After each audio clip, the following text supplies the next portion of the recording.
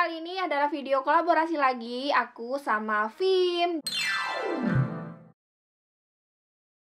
Jadi untuk kolaborasinya bulan ini adalah tentang Tips traveling di musim dingin. Ye, ayo siapa yang suka musim dingin? Hmm, kayaknya nggak begitu banyak orang yang suka musim dingin ya. Uh, Aku suka pas lagi musim dinginnya cuman nggak suka ngerasain dinginnya ngerti nggak? Jadi gini aku tuh suka musim dingin karena uh, kalau kita pakai baju kayaknya suka gitu membadu padankan baju dan jaket sal topi gitu. Terus ya gitu. Jadi nggak suka ngerasain dinginnya. Cuman suka kalau uh, pas lagi keluar terus pakai jaket pakai baju yang tebal gitu. Jadi kayak lucu gitu ya. Ya. Pokoknya gitu aja Nah untuk tipsnya ini aku ngambil dari pengalaman pribadi karena kebetulan juga aku tinggal di Prancis yang ada musim dinginnya juga. Jadi it, e, gampang banget gitu ya kalau ngasih tipsnya ke kalian. Pertama tipsnya adalah kalian harus siapkan baju-baju tebal seperti sweater kayak gitu, pokoknya yang tebal-tebal dan juga e, harus berlapis-lapis. Karena aku pribadi makanya juga berlapis-lapis gitu. Cuman harus tergantung sama suhu di hari itu gitu loh. Jadi kalau misalkan suhu sudah di bawah 5 itu udah dingin banget. Ini aku ya. Kalau aku udah ngerasa dingin banget teman-teman dari 0 ke 5 itu udah dingin banget. Tapi kalau sebenarnya sih 5 ke atas sampai ke 10 juga dingin, cuman ya nggak terlalu menusuk gitu dinginnya. Terus yang kedua, kalian harus uh, jaket ya, jaket atau coat.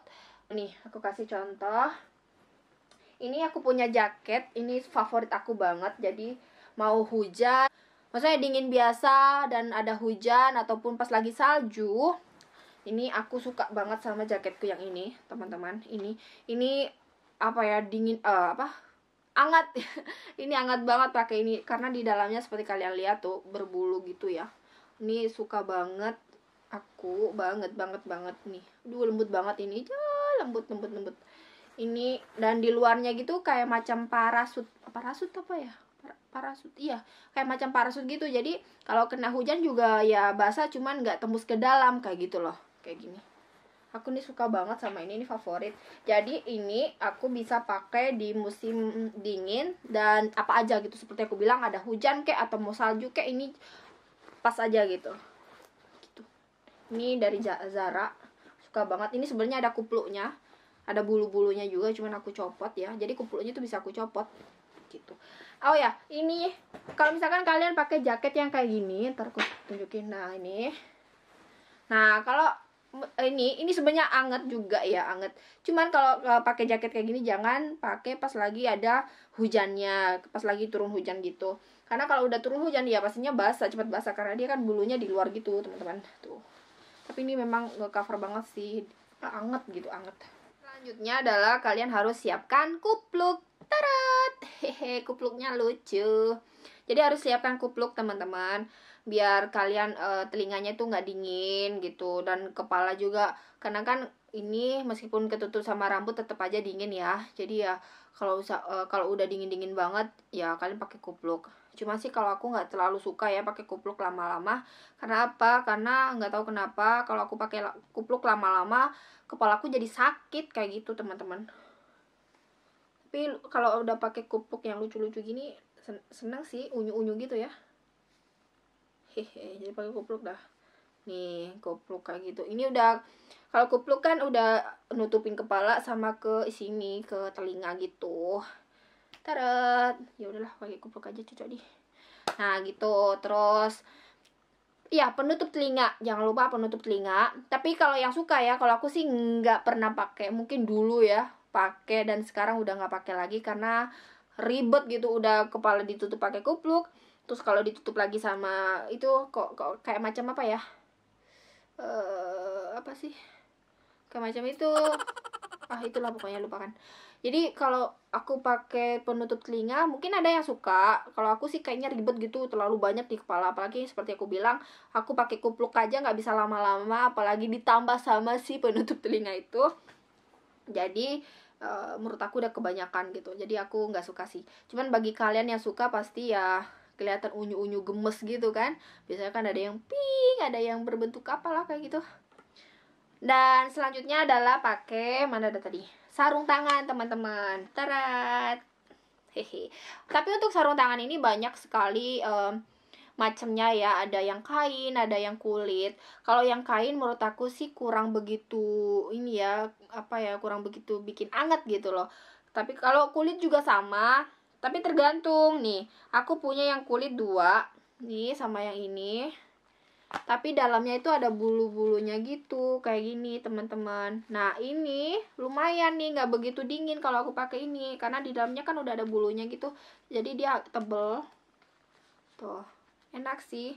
Kalau yang ini juga ada bulunya. Ini tapi bulunya itu eh, nggak uh, begitu tebal kalau yang ini tebal dan aku lebih suka yang ada berbulunya di dalam gitu. Kalau nggak ada bulunya di dalam uh, ini dinginnya tetap ini di apa masuk gitu meskipun udah ke cover kayak gini. Nah ini enak banget nih. Jadi uh, kalau sudah sarung tangan kalian udah siapkan terakhir uh, bukan terakhir selanjutnya kalian harus siapkan shawl tarat! Kalau shawl sih juga sama ya banyak macamnya. Kalian bisa semuanya sih uh, dari kain ya maksudnya bahan-bahan untuk shawl itu semua kain dan macam-macam sih ada yang kayak uh, kenit gitu. Terus ada yang cuman kain biasa kayak gitu. Ini aku suka banget sama salaku. Btw ini bukan promosi ya guys. Cuma ngasih tunjuk aja sama kalian. Ini panjang. Tuh. Panjang. Ini tebel. Enak banget teman. Teman nih. Aduh tuh. Gimana tebelnya kan? Tebel banget ini. Aku suka banget sama ini. Btw ini kapan beli tau baru kemarin beli dan ada diskon juga. Tuh jadi ini anget banget ke cover banget teman-teman. Pokoknya anget deh anget banget. Uh tangan bisa masuk kayak gini. Dah. Enak banget ini anget. Nih tuh. Dan selanjutnya adalah kalian harus siapkan lip balm jadi lip balm ini cocok buat cowok cewek. Jadi bisa pakai ya cowok juga bisa pakai. Karena kalau di musim dingin lip balm itu penting buat bibir kalian. Karena kalau enggak bibir kalian tuh bisa gampang kering teman-teman. Dan bisa pecah-pecah dan bisa sakit gitu. Jadi bisa ngelupas kayak gitu bibirnya.